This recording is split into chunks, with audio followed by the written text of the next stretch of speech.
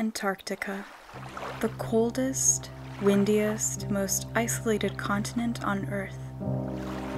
Ice is a perpetual companion, even in the summer. However, the icy abyss is home to a lively resident, the Gentoo penguin. Gentoo penguins spend their summers nesting together, sleeping together, and fishing together. It takes a lot of energy to care for chicks. They beg for food constantly, and parents must fish every day to meet their hungry demands. In the ice cold water, this group of gentoos is gearing up for a hunt. Small crustaceans, known as krill, are a gentoo penguin favorite, but gentoos also like to eat fish and squid. They fish in groups, but they don't always work together. This penguin dives alone, and like other gentoos, he can dive more than 600 feet deep. The hunt for food is also a dangerous one.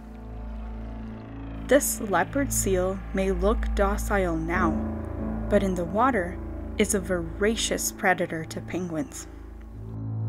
The petrels are feasting on a seal carcass, but they will pick penguins off in the water when hunger strikes again. But the Gentoo penguins have developed a strategy of their own. Porpoising. They leap in and out of the water like dolphins or porpoises.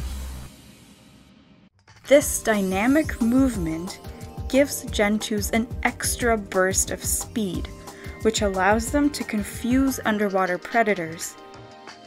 So, if a leopard seal gives chase, gentoos will porpoise to escape the fast approaching jaws of death. Triumphant, the exhausted penguins reach the shore with full bellies. Shaking off the cold, salty water, the gentoos prepare to head back to their nests, where they will feed their precious catch to their young. This chick nudges her parent's beak, begging for food. The hard earned catch is regurgitated into her hungry little mouth. Soon, the gentoos will gear up to hunt again, porpoising through Antarctica's waters of danger and reward.